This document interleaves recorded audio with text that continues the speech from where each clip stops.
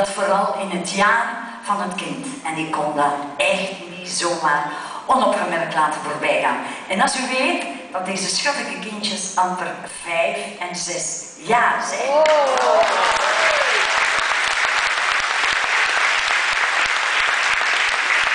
En ze doen het ook ongelooflijk goed en ze doen het ook ongelooflijk graag.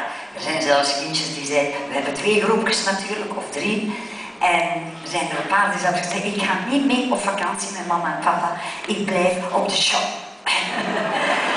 maar, we gaan nu een korte, ik zou zeggen, jullie mogen naar daar gaan en jullie mogen naar daar gaan. En nu krijgen ze natuurlijk een ijsje. Voor echt.